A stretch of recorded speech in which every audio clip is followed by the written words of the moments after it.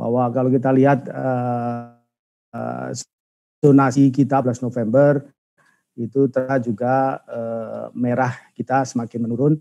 Uh, ini secara umum ya rata-rata uh, uh, sedang sampai tidak terdampak.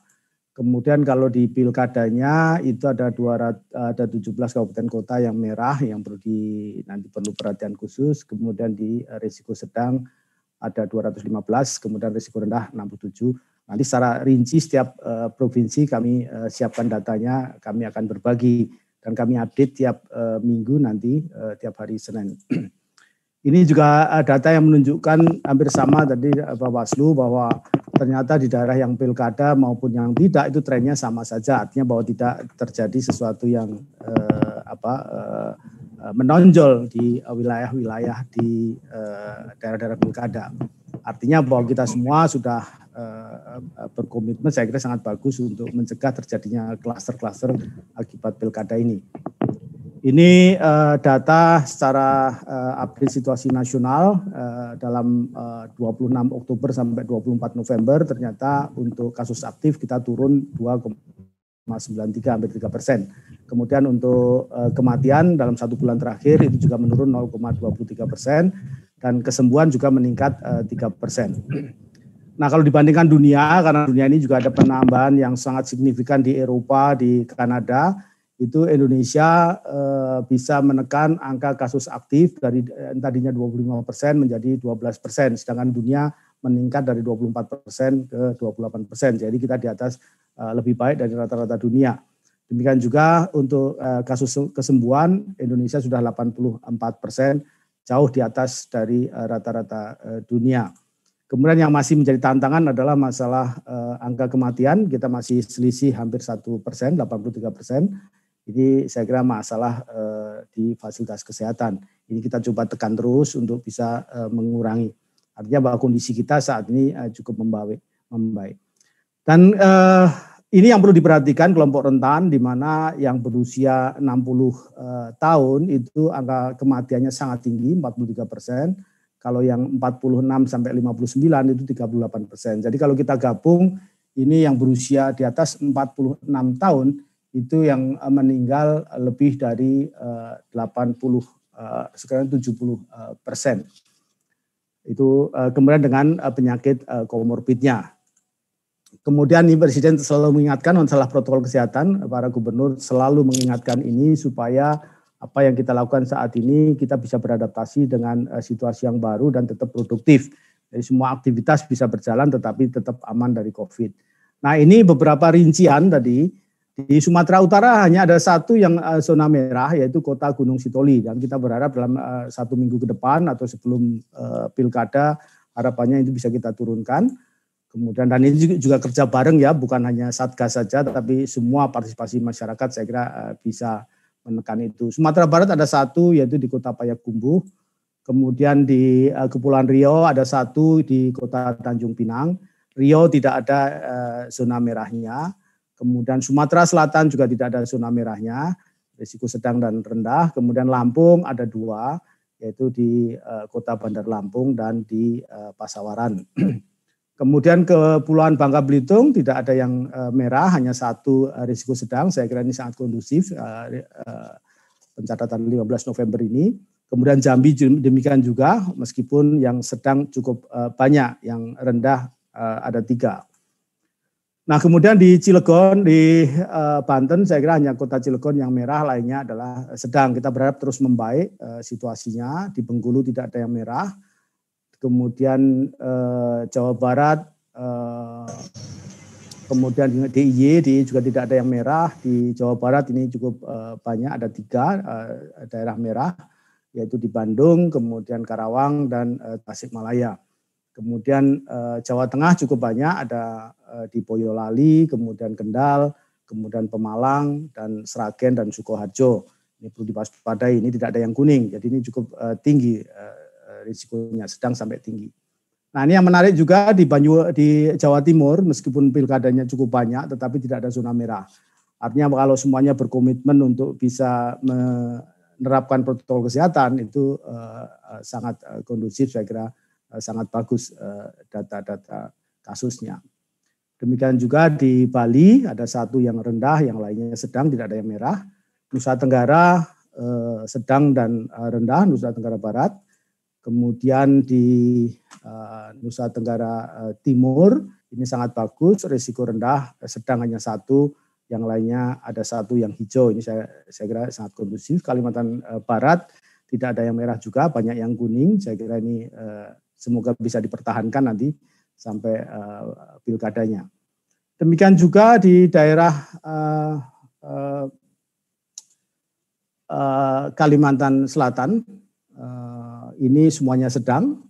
Gorontalo dua kuning, satu sedang. Kemudian di uh, Kalimantan uh, ini Kalimantan di Barito Selatan ini ada satu di Barito Timur Kemudian ada juga di uh, Kalimantan Timur itu ada dua, di Kutai Kartanegara dan Kutai Timur. Kalimantan Utara saya kira kondusif, sangat bagus, risiko sedang dan uh, kuning dan hijau. Jawa Tengah ini sudah tadi, uh, ini double. Uh, kemudian uh, ini uh, tidak ada yang merah, kemudian Sulawesi Selatan juga tidak ada yang merah. Kemudian juga di uh, Sulawesi Eh, saya kira di, di Sulawesi Tenggara tidak ada yang merah. Kemudian uh, ini juga di uh, Sulawesi Utara tidak ada yang merah dan ini juga bagus di Kepulauan Aru di Maluku tidak ada yang merah, Maluku Utara juga tidak ada yang merah. Ini di Papua, Papua Barat juga tidak ada yang merah. Jadi saya kira ini uh, bagus sekali uh, kondisinya dan terkait dengan protokol kesehatan untuk distribusi logistik yang mungkin perlu diwaspadai adalah kemungkinan-kemungkinan penularan dari orang ke orang, dari lingkungan ke orang, dan dari eh, benda-benda uh, logistik ke orang. Ini yang perlu diwaspadai. Di mana tempatnya kalau kita uh, bagi, saya kira uh, dari saat uh, perencanaan dan pengadaan, saya kira ini resikonya rendah karena bisa diatur di dalam ruangan, jumlah orangnya juga bisa diatur yang bisa menimbulkan risiko saya kira adanya potensi kerumunan di saat pemeliharaan distribusi dan pengelolaan logistik pasca pemilu karena melibatkan banyak uh, agent di sini dari transportasinya, banyak orang juga uh, bisa berkerumun. Nah, ini yang perlu ada protokol kesehatan dan ada pengawasan. Dan prakondisinya penyiapannya ya uh, pasti kita harus menyiapkan ada petugas, ada alat, infrastruktur, prosedur prosedur tertulis yang dipahami betul sama para petugas dan kemudian di protokol kesehatan di dalam gedung dan di luar gedung ini juga sama saya kira protokol uh, untuk aktivitas uh, di dalam gedung dan ruangan itu harus ada protokolnya ada pengawasnya dan saya kira ini sudah dilaksanakan dengan baik tapi mungkin ada beberapa tempat yang uh, kurang ini perlu diawasi dengan ketat identifikasi aktivitas di dalam gedung apa saja dan yang kemungkinan menimbulkan tadi tidak bisa jaga jarak dan tidak pakai masker itu perlu diantisipasi untuk mitigasinya. Dan protokol kesehatannya harus ada dan juga disosialisasikan dengan baik dalam bentuk poster dan hal-hal atau briefing dan sebagainya uh, mudah dilihat.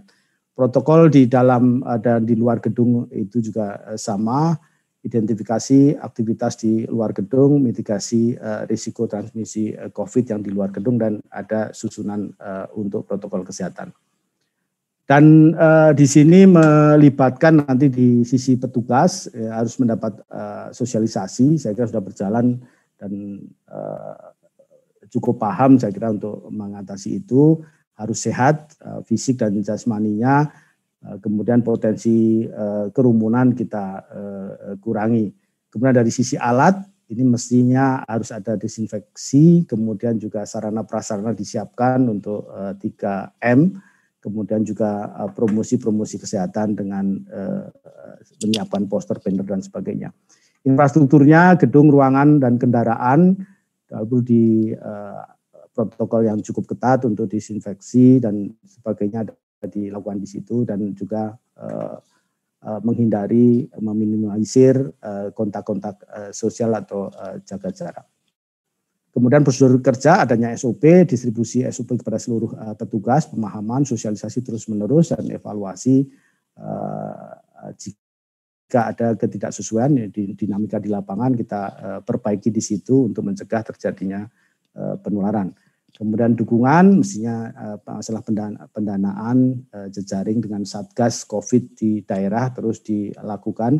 Saya kira petugas-petugas untuk penegakan disiplin ini luar biasa ya sampai saat ini teman-teman kepolisian, TNI dan uh, Satpol PP dan para relawan telah melaporkan hampir ada 113 juta orang yang telah diperingatkan di situ dicek di 25 juta titik karena mereka lapor ke sistem kami. Saya kira itu luar biasa kontrolnya. Dan inilah yang saya kira menyebabkan tadi pelaksanaan kita relatif uh, cukup bagus. Kemudian kalau kita lihat tadi ini saya ulang sedikit, kalau yang host to host atau orang ke orang itu swab test saya kira uh, diperlukan atau paling tidak kalau ada yang memiliki gejala-gejala influenza itu bisa kita cegah supaya tidak terjadi hal yang tidak diinginkan jaga jarak, tidak makan bersama. Ini hal-hal yang sulit karena perilaku kita biasanya kalau dalam eh, kondisi ini makan bersama, buka masker, ngobrol dan sebagainya. Ini hal yang sepele tapi bisa menjadi eh, tempat penularan.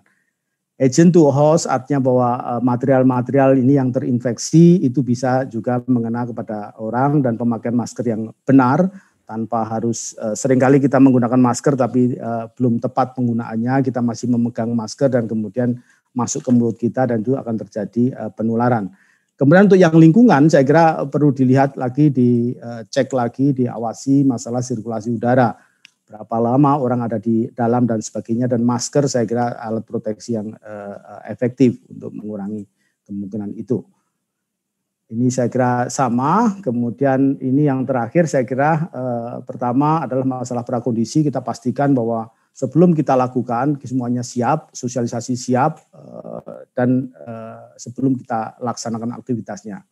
Kemudian identifikasi aktivitas di dalam dan di luar gedung yang memungkinkan terjadinya tadi eh, apa namanya pertemuan secara fisik, kemudian kerumunan itu perlu dihindari dan ada pengawasan di situ. Mitigasi kemungkinannya kita kita awasi dan kita uh, cegah supaya tidak terjadi. Kemudian kita susun draft protokol kesehatannya. Saya yakin ini sudah ada, tinggal kita uji lagi kalau ada yang tidak sesuai diperbaiki, kemudian divalidasi. Saya kira itu yang bisa saya sampaikan. Uh, terima kasih atas kesempatannya. Wassalamualaikum warahmatullahi wabarakatuh.